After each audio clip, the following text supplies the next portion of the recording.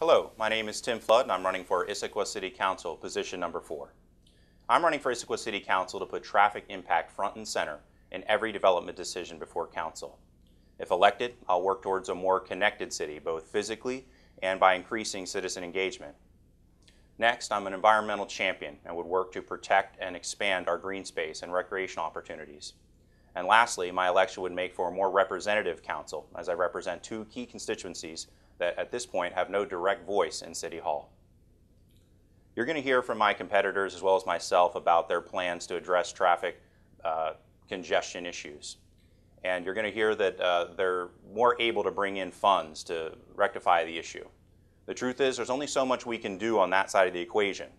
I'm the only candidate that's actually advocating for slowing development, the side of the equation that we can control to help address our traffic issues.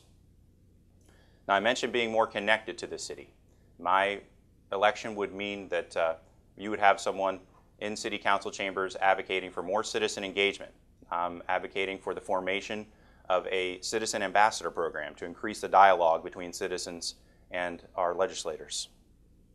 Now, having volunteered for a number of env environmental organizations, environmental protection is also very important to me. And if elected to council, I would be a champion for that point of view to protect and expand our green space and recreational opportunities. Now, lastly, I'd make for a more representative council, as I represent two key constituencies that have not had representation in council.